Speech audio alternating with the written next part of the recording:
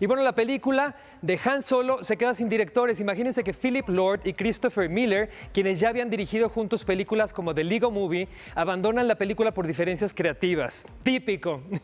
y bueno, la productora Lucasfilms dijo que se buscará otro director para continuar el rodaje que inició en febrero.